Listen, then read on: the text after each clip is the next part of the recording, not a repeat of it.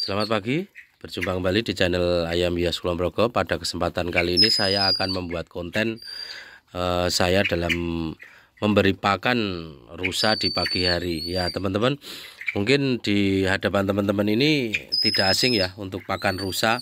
Mungkin sudah tahu ini adalah kangkung liar atau kangkung yang ada di sungai-sungai.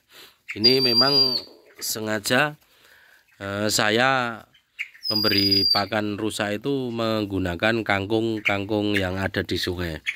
Karena saya mengamati rusa itu lebih condong ke suka untuk pakan-pakan rerumputan atau tetumbuhan yang berada di pinggir-pinggir sungai.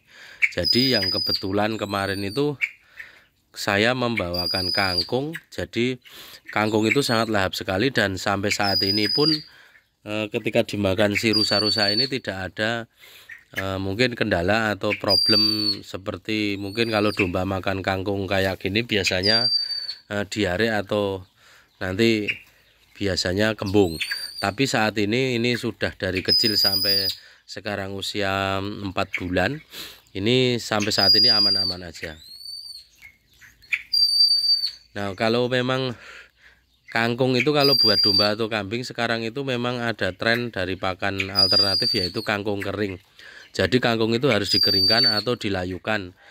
Kalau di daerah saya itu biasanya dilayukan sudah aman. Karena kita tahu untuk kangkung sendiri ini kadar airnya sangat tinggi sekali. Tapi ini juga sebenarnya protein tinggi juga. Ini buktinya untuk rusa-rusa saya ini memang dari dulu saya menggunakan atau memberikan pakan yang HPT-nya itu menggunakan kangkung kering. Kok kangkung kering? Kangkung kangkung sungai.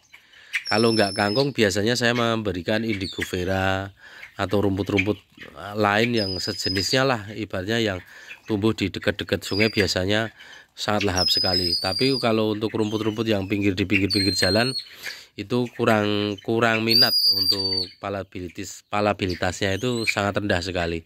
Tapi kalau yang di dekat-dekat eh, apa parit sungai got itu tanaman-tanaman itu biasanya eh, lahap sekali. Nah ini yang jantan teman-teman. Ini lumayan jinak kalau yang jantan. Beda dengan yang betina. Memang karakter betina itu semua hewan kadang memang beda dengan jantan tidak seperti apa ya gimana untuk bondingnya itu agak lebih susah. Tapi kalau jantan itu biasanya bondingnya lebih mudah. Nah ini ini rusa jantan betina. Saya memeliharanya lebih dulu dari yang betina. Ini yang betina lebih gede dan itu yang jantan. Tapi alhamdulillah untuk yang jantan ini mulai uh, perkembangannya itu mulai pesat ini. Setelah habis kemarin tak uh, lepas uh, susunya. Ya besok untuk kelanjutan tak bikinkan video untuk pakan-pakan tambahan. Sebenarnya saya tidak semuanya mutlak dengan pakan hijauannya itu kangkung tapi ada tambahan pakan nanti ada ampas tahu nanti tak perlihatkan. Sebenarnya mudah ini. Prospek kalau mau melihara rusa.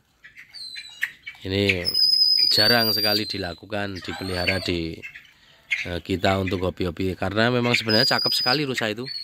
Dari warna bulunya. Ini rusa tutul ini rusa bukan dilindungi ya ini bebas dipelihara tapi ini karena rusa ini berasal dari India jadi tidak berpayung undang-undang eh, apa satwa dan flora safat flora dan fauna Indonesia. Jadi ini memang tidak berpayung undang-undang Indonesia. Seperti halnya ini ini, ini kan hewan-hewan luar negeri hewan-hewan luar yang tidak berpayung undang-undang di Indonesia.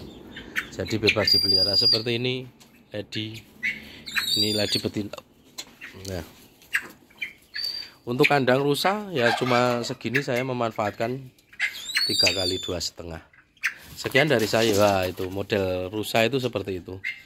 Karena ini golongan dari wild animal binatang liar binatang hutan.